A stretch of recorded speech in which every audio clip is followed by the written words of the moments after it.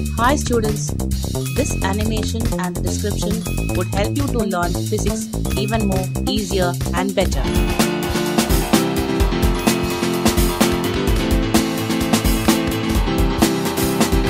So please do watch it and enjoy learning physics.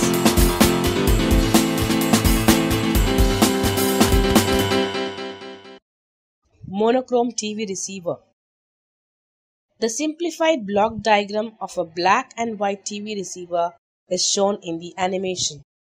The receiving antenna intercepts radiated RF signals and the tuner selects the desired channel frequency band. The antenna provides RF picture and sound signals for the RF amplifier stage.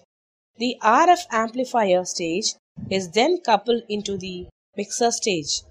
The mixture is connected to the local oscillator. The RF audio and video signals are heterodyned into intermediate frequency by the mixer and local oscillator.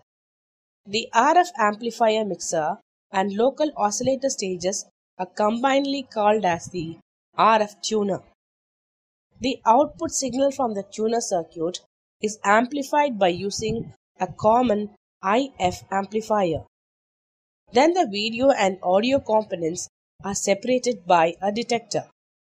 The sound signals are detected from FM waves, amplified, and then fed into the loudspeaker, which reproduce the sound. The video components are first passed into a detector, which separates the picture signal from the synchronizing pulses. The line synchronizing pulses and the frame synchronizing pulses are fed into the horizontal and vertical deflector plates of the picture tube. The blanking pulses are given into the control grid of the electron gun of the picture tube. The picture signals are amplified to the filament of the electron gun of the picture tube. According to the variations of potential in the picture, electrons are emitted from the electron gun.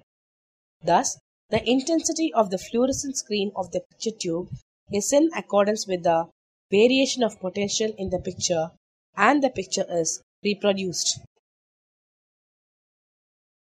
Thank you for watching. Please subscribe this channel for more videos.